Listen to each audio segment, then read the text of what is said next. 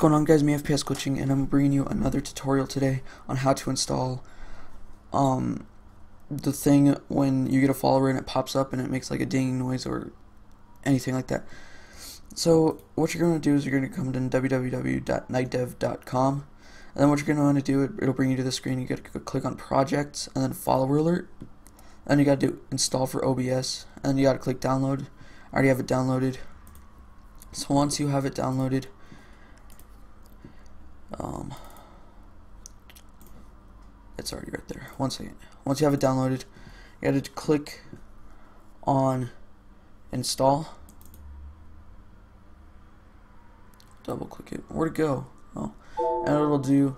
It'll have that, and it'll say it successfully installed. I already did it, so I don't need to do it again. Whoa, Inception. Alright, so here, I'll add it right here. Add and then you're gonna want to do CLR browser. And ju I'll just name it tut. And then click OK. And it'll bring you to this. So once you're at this screen just stay there. And then you're gonna want to come over here gonna click next. You're gonna choose what you want. You know put your Twitch username right here mine's Green Bay 33. I like to have it stacked because it looks better. And then I like to make mine like blue. Like that looks fine. And then for sound, you can choose whatever sound you want, whatever, it doesn't matter. And you gotta click next. And then once you're right here, you just gotta copy this. Um, and then paste it right here where it says URL in general.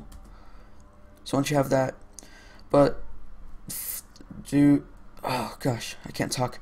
Make the dimensions 580 by 110. Am I still recording because I just clicked something? Yeah. Alright. And then you have that. And if you want to see if it's working or not, do and preview equals true. And that'll show you if it's working or not. And then click OK. And boom. Then it says new follower test user and it works. And then you could do like edit scene and you can make it bigger, move it down here. I like to have mine down here. You can make it bigger, smaller. It doesn't matter. But then once you're done with that, you're probably going to want to go to properties and get rid of this or else it'll just do that constantly and it won't even be cool. So then click OK and you should be done.